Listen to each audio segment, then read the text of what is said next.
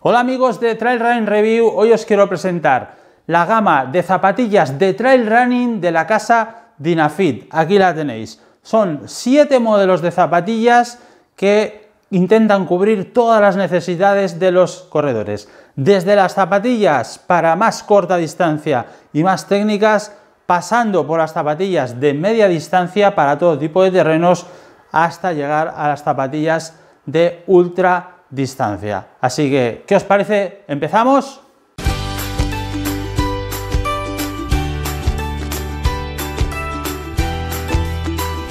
Bueno, y empezamos con el repaso de la gama de zapatillas de trail running para este 2020 de Inafit con una de sus armas letales para distancias cortas, las Feline Up Pro. Aquí las tenéis. Zapatillas destinadas puramente a la competición competición para corredores ligeros, para corredores musculados, para corredores que buscan un arma precisa con mucha precisión de horma estrecha para distancias más bien cortas, ¿vale? Yo creo que hasta los 21 kilómetros, si no sois de este tipo de corredores podéis utilizarlas, pero acortando seguramente la distancia y que incorporan el nuevo Vibram Mega Grip con la tecnología Light Base y es que reducen 30% el peso de la suela sin perder las prestaciones. Y es que estamos hablando de una zapatilla de 230 gramos de peso tan solo con el Vibram Mega Grip, como veis, con este taqueado más bien destinado a terrenos algo grasos, algo descompuestos, pero con cierta polivalencia, ¿vale? Fijaos, en V para favorecer el desplazamiento hacia adelante y V invertida para evitar lo que sería el derrapaje en las bajadas. Mediasuela firme, 4 milímetros de drop, 180 euros de, de precio con este Quick Lace, horma estrecha, precisa, buscamos precisión, buscamos sensaciones del terreno, buscamos firmeza, firmeza, buscamos reactividad con esta mediasuela dura, como estáis viendo aquí, para tener eso, para tener precisión, para correr rápido, para esos, esos momentos donde los gramos importan.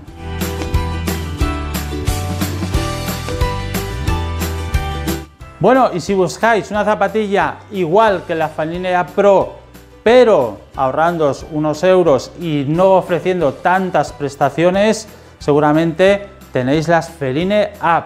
Misma zapatilla, mismo concepto para correr rápido para corredores ligeros, musculados, con técnica, que buscan una zapatilla precisa, que buscan una zapatilla con prestaciones y fijaos, y es que incorporan también Vibram Mega Grip, pero en esta ocasión no llevan Light Base. ¿Y eso qué implica? Pues 20 gramitos más a la zapatilla, y es que estamos hablando de una zapatilla de 250 gramos de peso y un precio de 140 euros. Así que bajamos 40 euros y subimos un poco el peso. También algo más de implicaciones, pues por ejemplo, que llevan cordones, ¿vale? Una zapatilla con 4 milímetros de drop, de media suela firme, y es que seguimos buscando aquí distancias cortas hasta medio maratón, seguimos buscando reactividad y seguimos buscando sensaciones del terreno para poder correr lo más rápidamente posible sin llegar seguramente a competición, pero sí que si queremos salidas cortas, correr rápido, estas Feline pueden ser vuestra opción.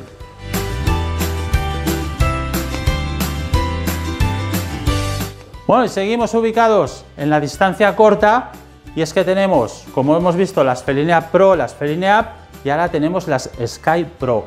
No es más que una especie de Feline Pro, pero con polaina, ¿vale? Para que estéis viendo aquí. Volvemos a distancias cortas, corredores musculados, eh, con buena técnica, que buscan precisión, que buscan una zapatilla rápida. Volvemos a tener la misma suela de Vibra Mega Grip Light Base, por lo tanto una zapatilla ligera que con la polaina impermeable está en 280 gramos de peso solo y que tras esta polaina lo que esconde es una Feline A Pro. Fijaos, aquí la tenéis, ¿vale? Incluso manteniendo lo que sería el Quick Lace, el atado rápido, lo que han hecho es poner una Feline A Pro recubierta de esta polaina de Dry, de dry eh, Dinashell, perdón, estaba ahora con, con lo de secado, dry, Shell que la hace impermeable y además se ajusta el tobillo y evita la entrada pues, de tierra, de piedras, etcétera, para también poder correr sobre climas fríos o, por ejemplo, eh, cuando tenemos eh, nieve, pues nos va a ir perfectamente bien. ¿vale? Zapatilla algo más protegida por fuera, como estáis viendo aquí, zapatilla con el heel preloader para tener estabilidad y una zapatilla que está en los 250 euros de precio. Para ir rápido, pero con malas condiciones.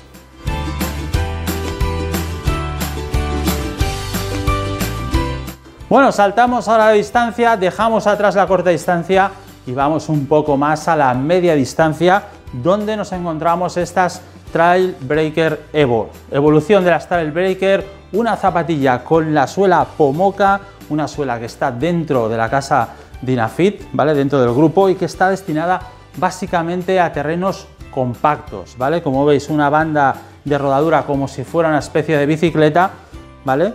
Y después por los lados para tener más grip, más estabilidad. Suela para terrenos compactos, terrenos más bien secos y una media suela de drop de 10 milímetros firme. Tenemos amortiguación, pero tenemos amortiguación más bien firme. Son 300 gramos de peso en un precio de 130 euros de esta zapatilla con, como veis, un guante interior y, una, eh, y un upper que lo que hace es envolvernos perfectamente el pie, dándonos mucha sujeción y después con orificios, como veis aquí, para la transpiración, al igual que sujetarnos en la parte trasera con el heel preloader. Media distancia, terrenos compactos, más bien secos.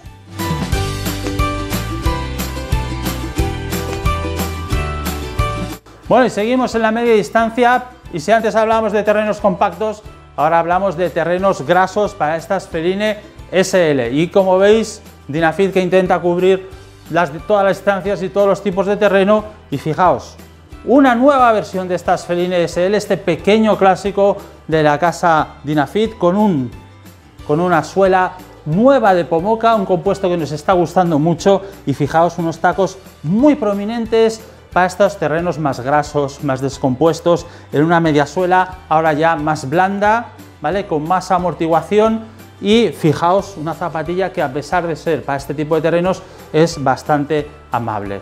Perfiles medios para un drop de 8 milímetros, estamos hablando de un peso de 300 gramos de esta zapatilla y no, perdón, de 290 gramos y un precio de 140 euros. Atado rápido, como estáis viendo aquí, un pequeño eh, especie entre bolsillo y protector para que no nos entre eh, piedras y la polaina, ay, perdón, la plantilla Ordolite, al igual que el Hill Preloader, como viene siendo habitual para sujetarnos en zona trasera del pie. Una zapatilla cómoda, una zapatilla para media distancia muy polivalente y destinada con la nueva suela Pomoca para terrenos grasos y descompuestos.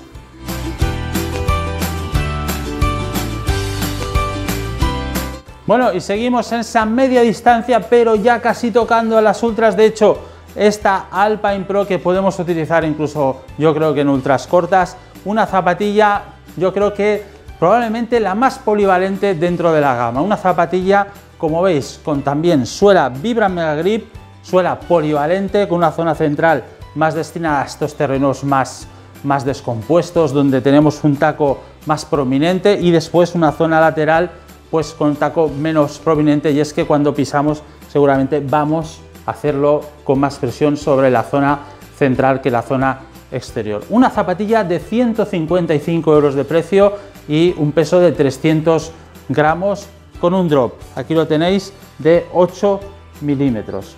Fijaos, ¿vale? 8 milímetros en los perfiles más bien medios para dar amortiguación en esta media larga distancia y después con una especie de exoesqueleto que nos va a aguantar en la zona media mientras que seguimos teniendo el heel preloader en la zona trasera para acabar de dar soporte. Atado rápido con esta volvemos al bolsillo donde poder guardar lo que es el tensor y el sobrante, mientras que nos protege de la entrada de piedras. Y aquí tenemos una plantilla ordolite y unos acorchados ya algo más potentes porque en teoría es una zapatilla que podremos llevar durante más tiempo.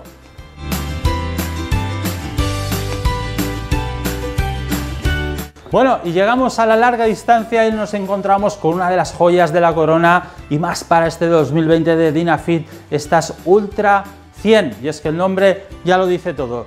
Modelo completamente nuevo destinado a la larga distancia con super amortiguación, perfiles muy elevados, con una amortiguación de tipo media, ni blanda ni dura y la nueva suela, fijaos, de Pomoca, una suela yo creo que muy polivalente también, quizás un poco más destinada a terrenos algo más compactos, quizás, ¿vale? Pero el material nos está gustando mucho. Perfiles altos, drop de 6 milímetros para esta zapatilla de 330 gramos y 150 euros de precio. Cordones normales, tenemos, volvemos a tener marca de la casa aquí, el protector que nos va a servir también de bolsillito para acabar de meter lo que sería el sobrante, una plantilla de ordolite y una construcción que lo que evita es toda la zona aquí exterior para evitar las rozaduras, mientras que volvemos a tener en zona trasera un chasis algo más potente y es que contra más horas estemos corriendo probablemente más soporte y sujeción vamos a necesitar. Acolchados medios, vamos a estar cómodos, una de esas zapatillas seguramente para hacer tirar largo, para correr horas y lo que han hecho es, fijaos, una zapatilla que cuesta de doblar, ¿vale? Pero lo que han hecho es un rocker muy elevado para darle mucho dinamismo a estas Ultra 100.